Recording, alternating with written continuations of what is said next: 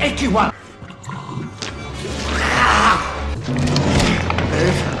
It depends on the relative amount of molecules in the universe. It becomes human. Of course not.